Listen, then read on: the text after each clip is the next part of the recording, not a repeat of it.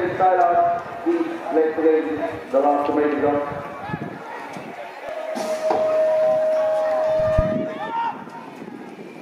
Daar hier komt er een stuiter Zij aanrijden de eerste grote bocht en daarachteraan is wat voor belangrijk.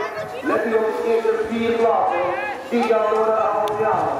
En daarom weer de eerste strijd die is veranderd in de 344. En 60 dacht ik goed in de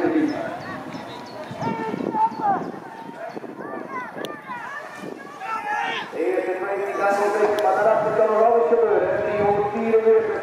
Het is heel duur. Het is Mickey Maurits. En daarachter uh, Joep Dan Johan van Dijk. En dan Nathan Kuijken.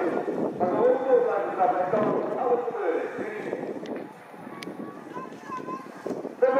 தீர்மானிக்கின்ற போது தான் இதனை